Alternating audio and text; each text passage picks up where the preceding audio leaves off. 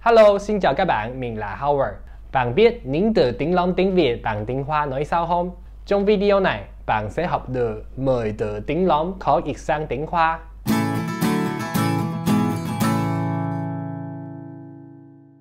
今天的第一个字是“把单”，用华语呢可以直接翻译成“八婆”，是用来形容一个爱管闲事、爱聊八卦的女人。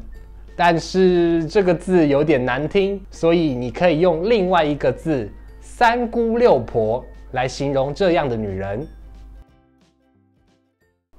呃，林太太呀，哎，听说阿豪跟他老婆离婚了，哎，真的假的？他们夫妻两个的感情不是很好吗？怎么突然离婚了？我跟你说，你不要跟别人说。听说他在外面有小三，被他老婆发现了。真假？没想到他是那种人。你们两个三姑六婆在聊什么？第二个字是“老毛”，这个字是用来形容一个人非常喜欢金钱，甚至呢可以因为金钱而跟对方交往。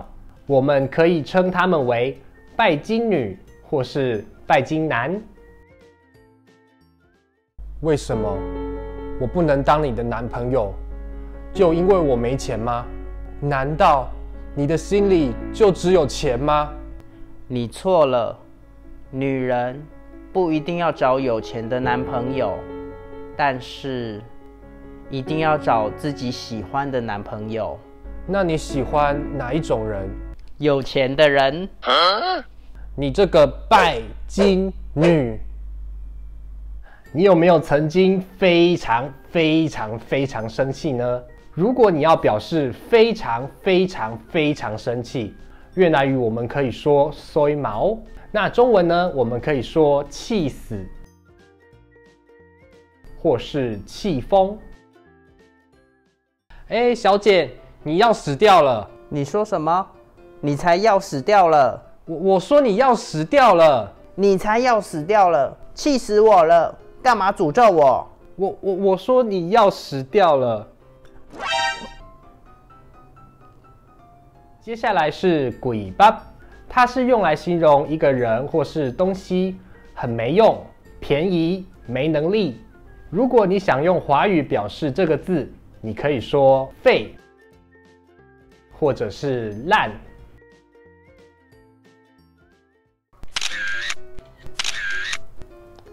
这只手机怎么这么废？怎么拍都不好看，是不是相机有问题呀？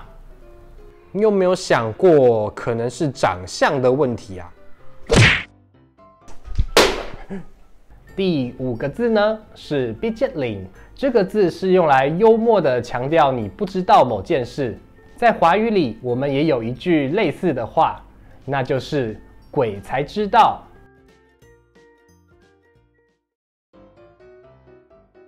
干嘛？你知道越南周杰伦是谁吗？鬼才知道。下一个字是 gahia，它是用来表示故意说讽刺别人的话，让别人觉得很难受。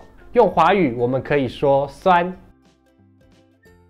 酸除了可以当动词，也可以当形容词，用来表示一个人说的话和柠檬一样的酸，让人难受。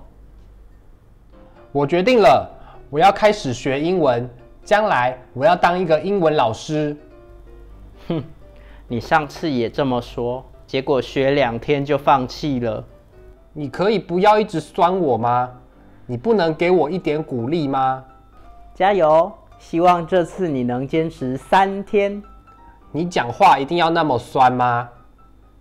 下一个字是端。在今年三四月的时候，我经常在脸书上看到这个字，但是我实在不太清楚它是什么意思。后来看到大家的留言，我才知道它是“完了”的意思。你也可以说“糟糕了”或是“完蛋了”。老板买单。啊，完了，我忘了带钱包了。哈，完了，我以为你要请我吃饭，我也没带钱包。糟糕了啦！老板知道一定会气死。如果你有一个朋友很久没有谈恋爱，突然遇到一个喜欢的对象，就很急的想要吸引对方的注意力。有个朋友留言，越南语可以用“娃”，在华语里我们可以说“饥渴”。饥就是肚子饿，渴就是口渴。我们常用“饥渴”这个字来形容一个很渴望爱情的人。上大学了，我一定要找一个全校最漂亮的女生当女朋友。呃，有点漂亮，不要太矮就可以了。神啊！我的要求不高，是个女的就好了。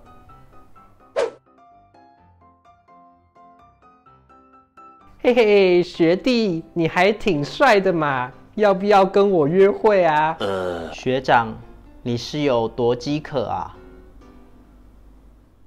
第九个字是“哎”，这个字是用来形容一个人没有男朋友或是女朋友。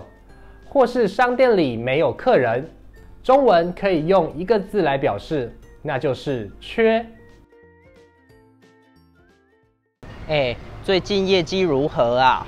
哎，别说了，最近缺客人，生意很差。好吧，那最近有没有认识新的妹子啊？